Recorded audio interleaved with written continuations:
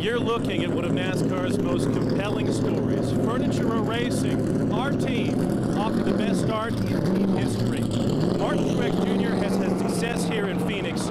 Could this be the week they get back to victory lane? I feel good about it. I think there's a good chance of it. You know, uh, practice today was okay. We started off decent, need a little work, need a little speed, uh, but we'll continue to work on it. That's the thing about racing. Anything can happen, and a lot of circumstances have to go right to, to be able to accomplish uh, the goal. But I still think, you know, I feel confident going there for sure. We're going to have much more on Furniture Row Racing this weekend on 7 Sports Extra. For now, I'm tired.